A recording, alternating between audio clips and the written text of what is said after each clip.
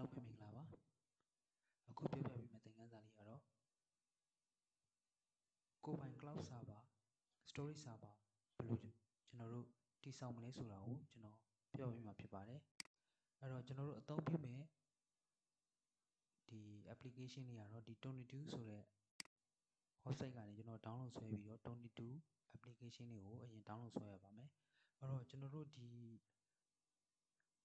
software ကိုအ သုံးပြုမယ်ဆိုရင်ကျွန်တော်တို့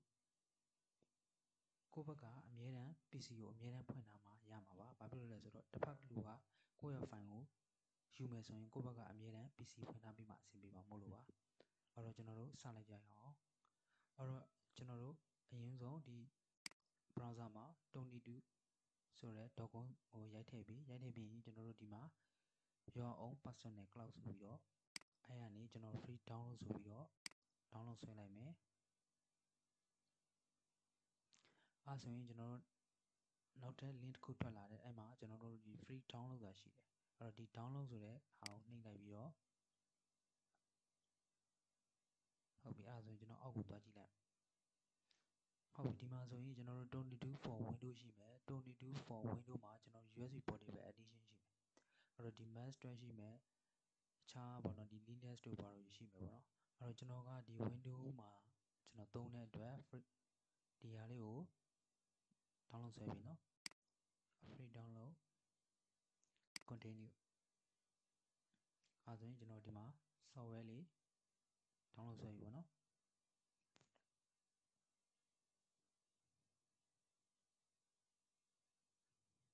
ဟုတ်ပြီဒီကောင်လေးကိုကျွန်တော်တို့က double click run ပြီဟုတ်ပြီကျွန်တော် run ပြီး okay next အဲ ကျွန်တော်ဒီ software ကို desktop ပေါ်မှာထားမှလားပြီးတဲ့အတွက်ကျွန်တော်အမှန်ချင်းလေးနဲ့ထားမယ်ဆိုပြီးတော့ပြင်တော့နော်အမှန်ချင်းချပြီးတော့ next ပြီးရင် install ဟုတ်ပြီ launch 22ဆိုပြီးတော့ကျွန်တော်တို့အမှန်ချင်းလေးချပြီးဆိုတာနဲ့ finish ဟုတ်ကျွန်တော်ဒီမှာလိုအပ်မဲ့ဟာတွေကိုကျွန်တော်တို့ဖြည့်ပေးရမှာပေါ့နော် data auto တက်လာတဲ့ page တစ်ခုပေါ့အဲ့တော့ဒီမှာကျွန်တော်လိုသလို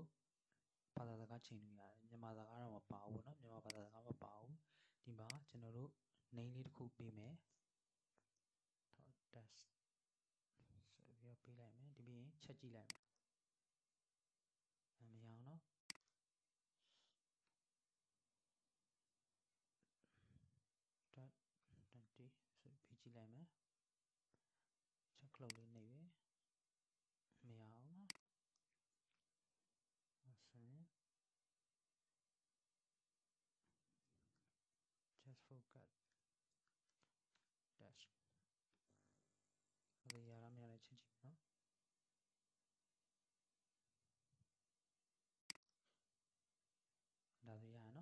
ပြတယ်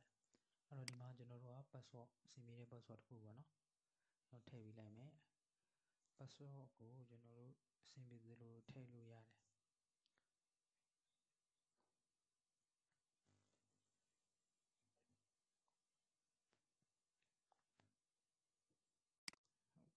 အဲဆိုရင်ကျွန်တော်ရဲ့ email လေးကျွန်တော်ထည့်မယ်နော်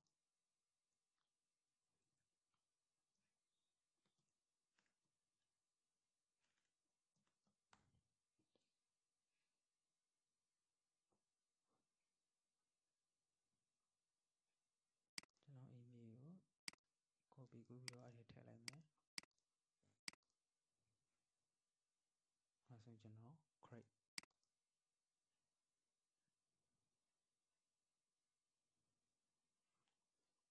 အဲ့ဒါဆိုရင်ကျွန်တော်တို့ကကျွန်တော်တို့သူက link ပေးလိုက်တာကျွန်တော် justfocus.donate.com ဆိုပြီးတော့ကျွန်တော်တို့ကိုပေးလိုက်တယ်ပေါ့နော်အဲ့ဒါလေးကိုကျွန်တော်တို့က copy လေးကူထားပြီးပြီးရင် next အဲ့တော့သူပြောချင်တာကဒီ folder တွေအကုန်လုံးကိုပဲသူ access ပေးမှာလားဒါမှမဟုတ်ရင်သူအသေးသေးချင်းစီပေးမှာလားအဲ့တော့ကျွန်တော်ကဒီ all all folder ပဲပေးလိုက်မယ် next ဟုတ်ပြီသူပေးခြင်းတဲ့ folder ကိုကိုယ့်ဘက်ကိုရေးလို့ရပါတော့ဒါကကျွန်တော်တို့ C program နဲ့ဟာတွေတော့ဒီ user name အောက်တွေကျွန်တော်အဲ့ဒါမပေးဘူးဖြတ်ပလိုက်မယ်ကျွန်တော်ဘယ်ရပေးမလဲဆိုတော့ကိုပေးခြင်းတဲ့ folder တစ်ခုကိုဒီကနေကျွန်တော် ဆွဲခေါ်မယ်အဲ့တော့ဒီနော်ဒီကိုပေးလိုက်မယ်ဟောဒီကိုပေးလိုက်ပြီးတော့ next ထပ်နေမယ်ပြီးရင် close ဟုတ်ပြီကျွန်တော်ဒီကဒီကိုပေးလိုက်တဲ့ဆိုရင်ကျွန်တော်တို့ဒီကအမှန်ချင်းလေးချစ်ပေးပြီးရင် share ဆိုပြီးတော့ကျွန်တော်နှိပ်ပေးလိုက်ပါတော့အဲ့တော့ဒီ share လိုက်ပြီဆိုရင်ဒီຢာလေးကိုကျွန်တော်တို့က control C နဲ့ဒီနေရာမှာကိုပြီးတော့ထည့်ပေးထားတယ်နော်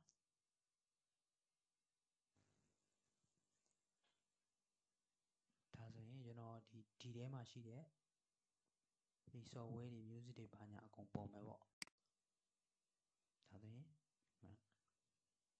ဒီကိုကျွန်တော် share လိုက်တာပေါ့နော်အဲ့ဒါလေးကိုဆွမ်းနာဒီဒီ share မဲ့ link ကကိုယ်တငယ်ချင်းကိုပို့ခြင်းနဲ့ကိုယ်တငယ်ချင်းကိုပေါ့ဒီ link လေးဒီ Facebook တို့ Viber တို့ကနေ share ပေးလိုက်ပေါ့အဲ့တော့ share ပေးပြီဆိုလဲကိုယ့်ဘက်ကအမြဲတမ်းသူ download မပြီးမချင်းစက်ကိုပိတ်လို့မရအောင်အဲ့ဒါအရေးကြီးတဲ့အချက်ပေါ့နော်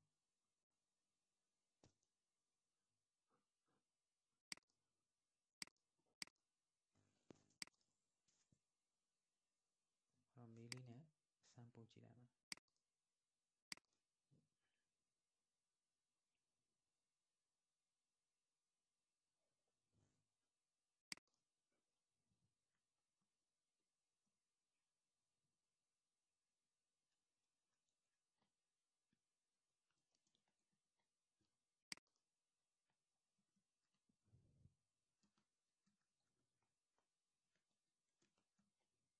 အဲဆိုရင်ကျွန်တော်မေးကိုစမ်း ပြီးတော့ပို့ကြည့်လိုက်မယ်အဲဆိုရင်ကျွန်တော်မေးကိုသွားလိုက်မယ်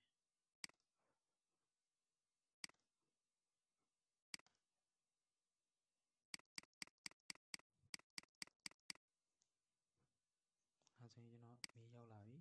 ကျွန်တော်ဖွင့်ကြည့်လိုက်မယ်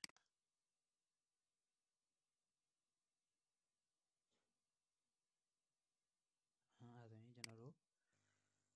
စတင်ပြီးတော့ကျွန်တော်တို့လိုတဲ့ file ကိုကျွန်တော်တို့ download ဆွဲလို့ရတယ်ပေါ့နော်ဒီဒီကတော့တဲကိုဖွင့်လိုက်ပြီးတော့ကျွန်တော်တို့ကိုကြိုက်တဲ့ဟာတစ်ခုပေါ့အမှန်ရှိလေးချစ်ပေးပြီးရင်ကျွန်တော်တို့ play လဲရတယ်ကျွန်တော်တို့ download လဲရတယ်ပေါ့နော်အဲဆိုရင်ကျွန်တော် download ရပါပြီပေါ့ဒီနေ့သင်ခန်းစာလေးကတော့ဒီလောက်ပဲเนาะကျွန်တော် channel လေးကို please subscribe လေးလုပ်လုပ်ခဲ့ပေးပါဦးเนาะ